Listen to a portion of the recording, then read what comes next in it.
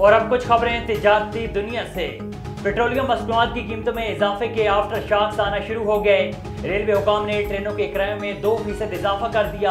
हुकाम की जानब से मेल एक्सप्रेस और इंटरसिटी ट्रेनों के किराए में इजाफा किया गया है। ट्रेनों के किराए में इजाफा डीजल की कीमतों में इजाफे के होने के बायस किया गया। ट्रेनों के किराए में इजाफे का नोटिफिकेशन भी जारी कर दिया गया।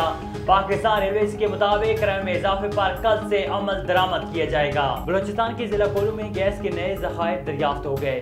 जिला कोलू के चार खुन से चौसठ लाख बीस हज़ार क्यूबिक फीट गैस योमिया दरामद हो रही है।